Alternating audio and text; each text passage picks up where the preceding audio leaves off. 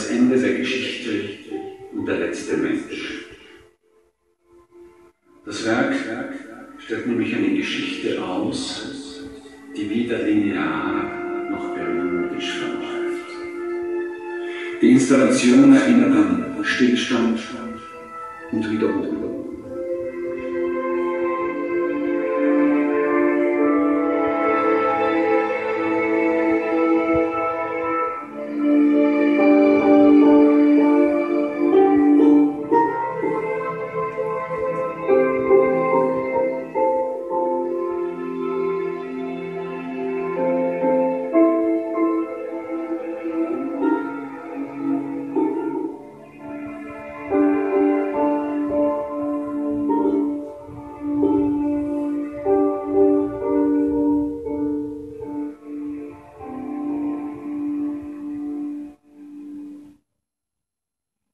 An Ereignisse wie die Krise der Kirche während der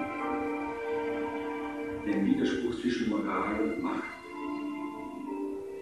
die antike Sklaverei und die daraus folgenden Migrationswellen aus Afrika in Richtung Europa.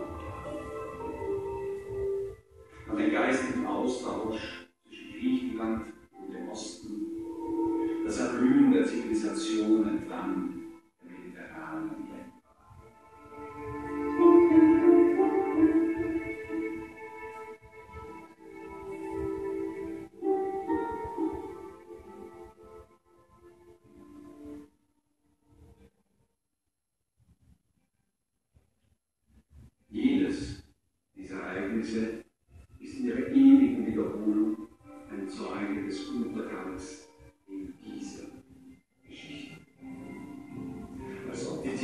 穷人嘛，有点可怜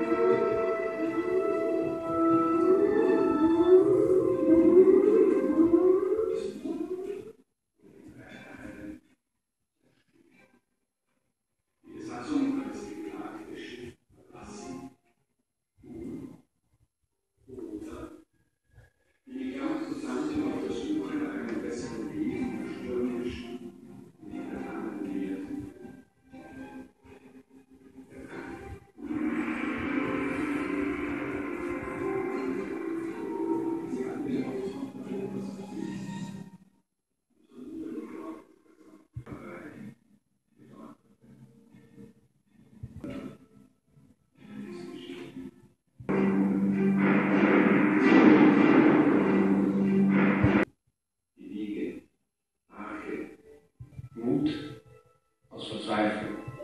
Es durchziehen viele der Geschichten und für individuelle Geschichten.